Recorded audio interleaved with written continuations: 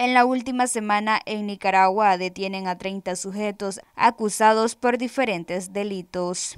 Como resultado del trabajo preventivo y enfrentamiento a la, delincuencia en el campo, la Policía Nacional capturó 30 delincuentes por delitos de peligrosidad.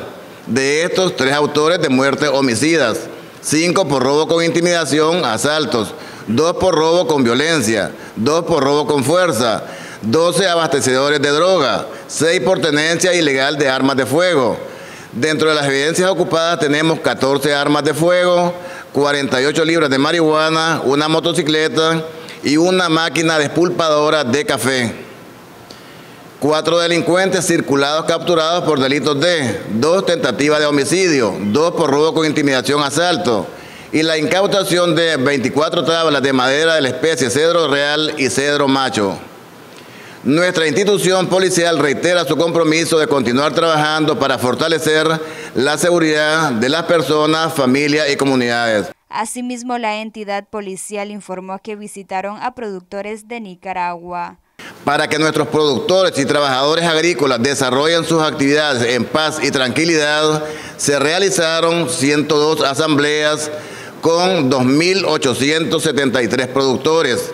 1.014 coberturas de seguridad a 22 rubros de producción, arroz, frijol, café, musáceas, cacao, frutas, hortalizas, entre otros. Se inspeccionaron 141 camiones que trasladaban café, 818 camiones con 13.896 semovientes, así como también visitamos 154 mataderos y rastros municipales en el territorio nacional.